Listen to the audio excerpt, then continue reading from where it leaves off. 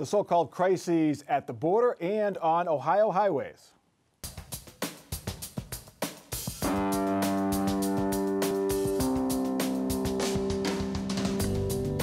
Joining us on Columbus on the Record this week, Jeremy Pelzer, State House reporter for Cleveland.com, Jim Siegel, State House reporter for the Columbus Dispatch, Janetta King of Innovation Ohio, and Gene Krebs, former state legislator. A few days removed from the State of the Union address and only days away from another government shutdown deadline, there still appears to be no deal on a plan to better secure the southern border. President Trump made illegal immigration the centerpiece of his State of the Union address, spending nearly 15 minutes making his case that it poses a threat to the country. He called on congressional negotiators to approve his plan. My administration has sent to Congress a common sense proposal to end the crisis on the southern border. It includes humanitarian assistance, more law enforcement, drug detection at our ports, closing loopholes that enable child smuggling, and plans for a new physical barrier or wall to secure the vast areas between our ports of entry. In the past, most of the people in this room voted for a wall, but the proper wall never got built. I will get it built. Lawmakers from Ohio both disagreed and agreed with the president. They disagreed on plans for the wall, but they agreed they don't want to see another shutdown. You know, I think the president's plan is better than he described. In other words, I, I think it does exactly what many Democrats are asking for, which is relies on the experts along the border through an evidence-based approach to say what kind of structures are going to be where. It's 234 miles that he's proposing in addition to what's already been built by other administrations. Members on both sides of the aisle agree that another government shutdown would be disastrous for the economy, for the people, and unnecessarily harm tens of millions of Americans. Jeremy, if it was up to Congress, this would get done. Neither party wants another shutdown. Neither party wants another shutdown, but then both sides want their way, and that's what got us in this mess in the first place. Uh, and in Ohio, it's really breaking down, not surprisingly, on party lines. Yeah, uh, Rob Portman, he, he, basically, I think he explained the president's plan. The 200, he said 235 miles of fencing would be a part of this plan, not necessarily a coast to coast wall. Is that something that the, that the president can go for? Or does he Who want knows? his wall? Who knows? Yeah. I mean, the, the president does, you know, have a tendency sometimes to shift positions on, on this kind of thing. Uh, so I don't, I don't know where he's ultimately going to end up. I mean, I mean, and, and how many miles is actually needed? I mean, there, there are literally portions of the border where a wall would make zero sense because there, there's water, there's, there's there's canyons, there's Yeah. you know impassable land anyway. Um, one of the problems with it, I mean, there's a, there's a couple problems though, and and they're right. I mean, the, the Democrats in the past have supported a, a wall, and there is a wall built already to a degree. The problem now is because of all the tone and rhetoric we've heard over the last uh, two years. This has become not just a wall, it's become a symbol of things like xenophobia and racism. Um, you've got the problems with the child separations at the border. Um, and let's not forget the president said about 600 times that Mexico was going to pay for it. So these make this, it's not just about well, hey, you you like a, you've liked a wall before, you should still like it. It's different now, and I do, and I don't know that they're going to come to an agreement, especially considering the way the president's poll numbers dropped the last time the government shut down. Uh, I, I don't know that there's enough incentive for the Democrats to to move his direction. Janetta, if they if the Democrats agree to any kind of physical barrier, doesn't that give Donald Trump room to claim victory and that they don't want that to happen?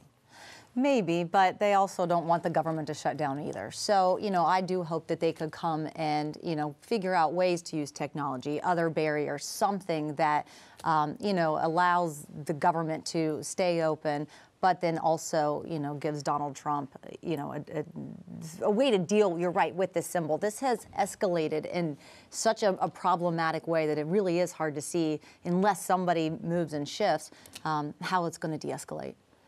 Gene, how big? A, I was surprised after the last election in November that immigration was the number two issue in the exit polls in Ohio. Mm-hmm. It's not really an issue here, but it's a symbolic issue, as we've been talking about. It's because everybody's watching nationalized cable TV And I did not generate this particular structure idea for this, but what we what we're seeing now is that every issue that comes up is a new Rorschach test. You know those ink blots that psychologists show people, and you see maybe a you know two peacocks kissing or something.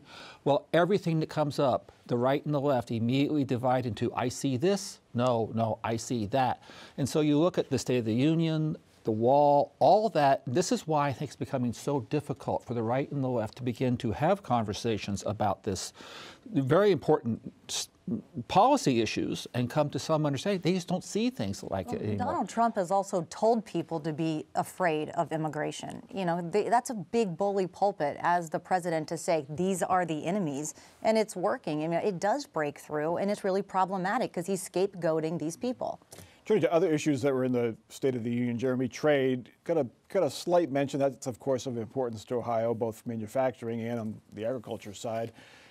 But he didn't really break new ground when it came to, came to trade in the, in the, in the address. I think trade is obviously to kind of one side now as they're working out the, the, shutdown and the wall and North Korea and all these other issues. Trade, uh, you know, but it's going to pop up and it's going to be an issue in 2020, I'm sure. Education, yeah, barely a mention. The federal government doesn't do much with education. Yeah. Mostly, you want federal government to stay out of education. Yeah. I mean, let's be frank.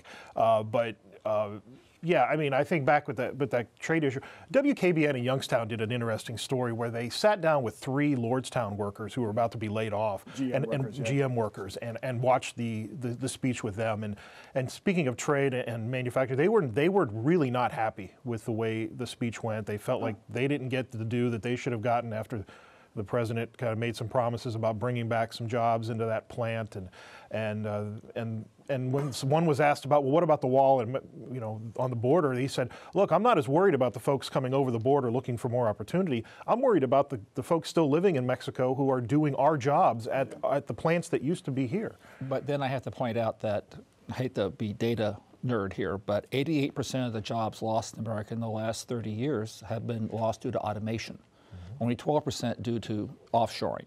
And so it's easy, overly easy and convenient. And I have to, once again, I think the media, sorry, y'all, but it's, you know, you know, it's not talking enough about the, how automation's affecting the, the, these jobs. Well, this State of the Union, too, was a little bit of an opening salvo for Trump's reelection. Yep. And so, you know, I think there was a reason that Congressman Tim Ryan brought someone from the UAW, the United Auto Workers, to the State of the Union um, who were who was directly impacted by Lordstown. Because I think where the problem was going to be is Trump made very big promises, especially when it comes to manufacturing. And if the lived experiences of Ohioans and the people in the Mahoning Valley don't add up to what they were promised, I think that's going to be a problem. All right. Sherrod Brown may not be an official presidential candidate, but he's at least trying it out. He is off to New Hampshire this weekend. His Dignity of Work tour visited Iowa last weekend. He made several stops to speak to potential caucus voters. He says he is not concerned about his progressive record as much as how Democrats can win back those rural blue collar voters. I don't worry about progressive bona fides. I worry about Democrats talking to workers and winning, you know, winning places like Howard County and winning places where um, Democrats don't do so well in, in small city Ohio and small city Iowa. Janetta King causing a little bit of a stir, but he still hasn't really caught fire like Cory Booker or Kamala Harris has what's what's taking so long for him? Yeah. Well, I think the more people understand what Sherrod Brown could mean as a presidential candidate, the more Democrats are going to like him because here's what he can do. He can unite the traditional Democratic coalition. It is a both and. It is the white working class and it is the progressive base. And which makes him very electable when other candidates maybe are good with their progressive bona fides or maybe try to appeal to the white work, working class. He can do both. So I think he's going to be doing these tours. He's going to be in New Hampshire. He's going to be in, you know, did Iowa. I think he's going to be very well received by people who understand what he could do and how electable he could be. Can he, Jeremy, can he energize that progressive base like a Kamala Harris or Elizabeth Warren or Bernie Sanders did or even Cory Booker? Well, the, uh, the media narrative on Brown until now has kind of been he's been he's the Trump voter whisperer. He is the populist, economic populist who won in a red state. Uh, but his job now is to if he just has that, he's not going to win a Democratic nomination. So his job now is to reach out and reach those uh, liberal activists, those you know Democrats around the country who aren't you know necessarily white blue collar males, and that's why he's going out and doing this. And um, we'll see if he can do it. I think he's going to run. Personally. Well, he's the Midwestern guy too. I mean, he's the guy they think that some think, and, and really the only chance he has is if he can convince everyone he's the guy who can win Pennsylvania, Ohio, Michigan, Wisconsin. If he if he can't win those states, then there's no point in him being in the race because you you know Kamala Harris and, Cor- and Booker and others they can they can handle the coasts. Yeah. Uh, he needs to show that he can he can sell in the heartland, and and he's again he's trying to show that he's he's this is what real populism looks like. Um, I think it is a he, you know he's very unpretentious. He's he's a very different kind of candidate than obviously than the president on a uh, in terms of style. Uh, which is there's always a different way to call him rumpled and, uh, and disheveled. Uh, everybody comes up with a new adjective. Uh, so so it'll be interesting to see once once he's done with the you know the dipping his toe in the water and he actually gets in the race, who's going to back him? Who, who's and, and I'm talking about money. Uh, where's the money going to come from? And that that will immediately start to tell you is he gaining traction? Yeah, and that is the key thing. Uh, you know, there's a thing about magicians don't pay attention to what's in this hand. Look, see what this hand's doing. So when he goes to Iowa, that's nice. But to really watch is when is he going to San Francisco, Los Angeles, New York, and Miami? And uh, what polling indicates right now, um, Those cities are where the money is. that's where the money is. It's yeah. fundraising is. Now, I'm, I'm a Republican and I'm going to speak for what Democrat polling is, which is a dangerous thing to do. But what this seems to indicate is, is the thing that, that the Democrat voters value the most is a someone who, who will be viable against Trump. And it doesn't really matter so much where they are on all, do they check all the boxes? They're looking at how are they going to perform against Trump. And that may be a strength. However, remember, he, a lot of us were stunned at what his total was here in Ohio. He did not do as well as what a lot of people were thinking. And so it may, you know, he's about four points down from where a lot of people in the, in the polls were t- putting him at. So he may not have quite the translation that people were thinking. He was sitting next to Kamala Harris at the State of the Union. Mm-hmm. I felt bad for him because every time they showed her, you could sort of see his stray gray hair. Mm-hmm. But is that a ticket? Because everyone says that Brown would be a good vice presidential ticket, uh, running mate to someone like Kamala Harris. Is that a I think they would both love to be on a ticket. I think they would disagree who would be at the top of the ticket. Yeah. And the other big thing about um, Sherrod is that if he if he runs and he wins either one or two, that means then Governor DeWine appoints. And if he wins? If he wins. I think Dees would take that deal. Well, okay. That means they beat. But it's Donald- number two, though. But that means they've defeated Donald Trump. But it means it's number two, though. Yeah. That I think that's a different dynamic versus number one. So that's why I don't think it's it's one or none for him. oh, top of the ticket or nothing. Yeah, because I don't. I think the Democrat money will go. Okay, well, we can put. There's a lot of people who could fill in as being number two very effectively, but then we lose a Senate seat automatically. Yeah. Well, could be. If you think this season's crop of potholes is bad, state officials say it's going to get worse. Ohio's transportation director says the state faces an impending crisis unless they generate more money for road repairs and improvements, proving that government task forces can work quickly. Just days after it was formed and after one hearing, Governor DeWine's Advisory Committee on Transportation Infrastructure recommended the state increase the gas tax to pay for highway fixes and projects. Jim, this was government fast tracking.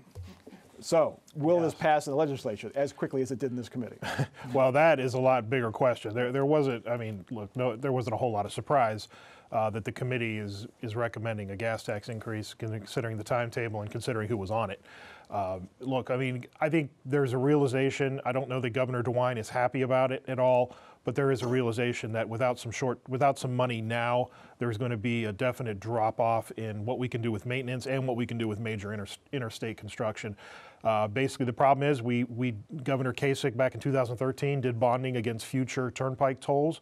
That was fine. It raised a billion and a half dollars that was much needed for transportation projects. That money's gone.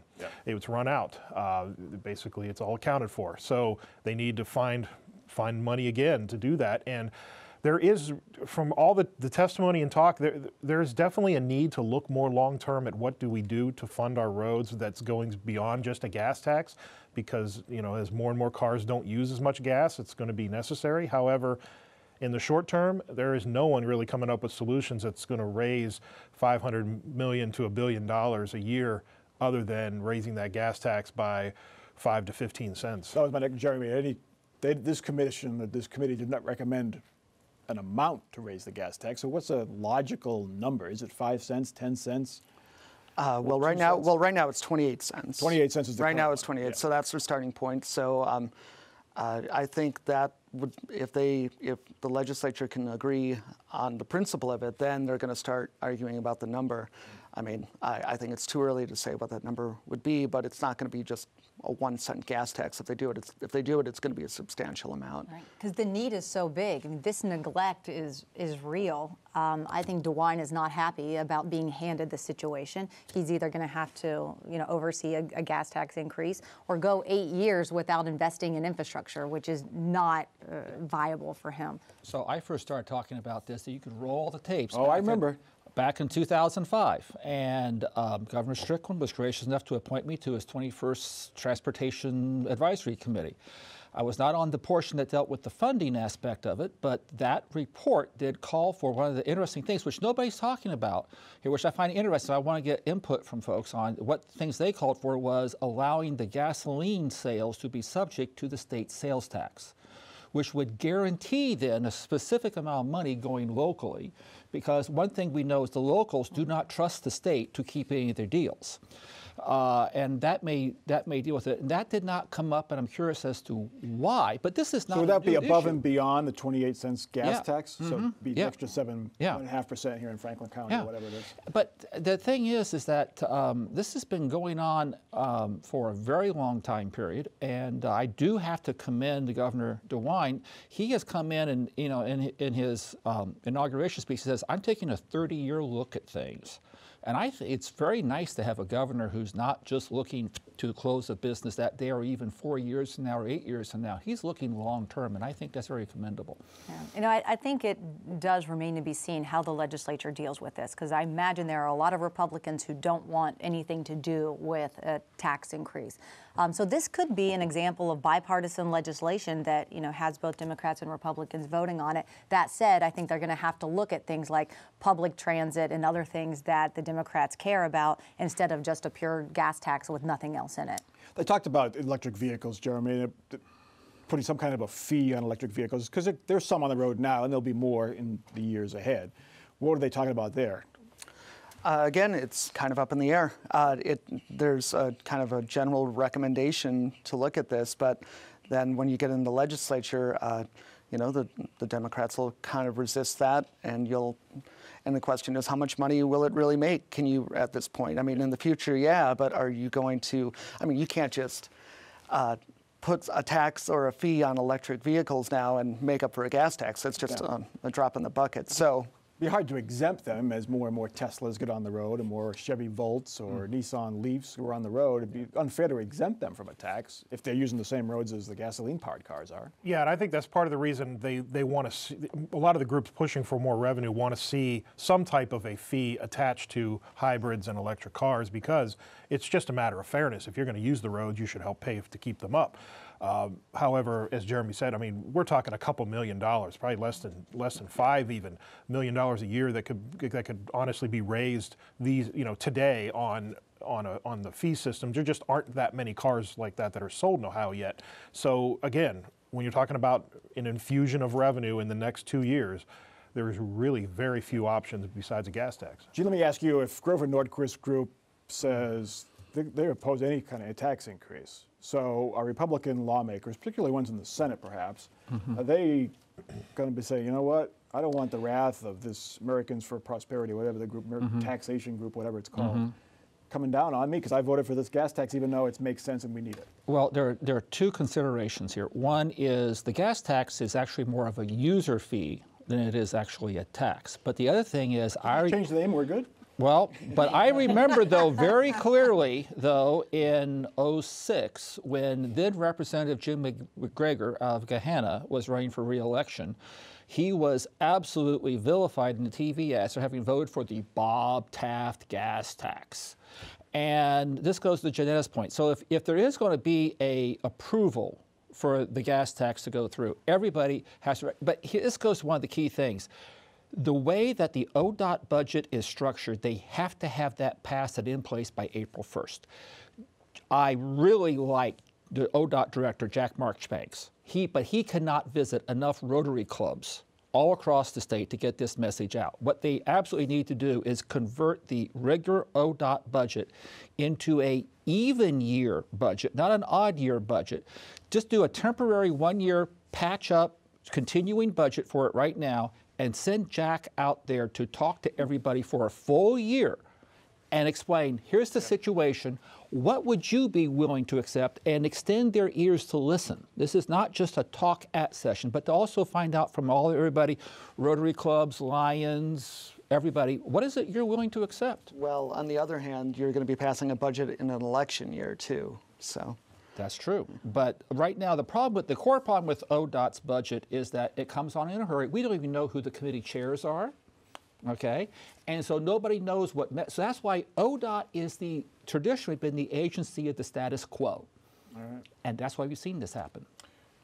There are a lot of Republican voters in Columbus. Columbus has a rich history of popular Republican mayors Greg Lashutka, Buck Rinehart, Tom Moody, Jim Rhodes, if you go back far enough. But this year, there is no Republican running for mayor, not even one Republican running for city council. A statement from the Franklin County GOP says it is impossible for their candidates to compete because the outcome is already fixed.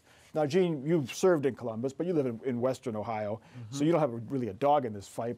But it can't be good for the Ohio Republican Party, the largest city, does not have one person running for a city office. And I will tell you, I remember fondly, you had three people at separate times run for city council here Heidi Samuel, Eddie Pauline, Matt Ferris, all ran picture perfect campaigns, great candidates.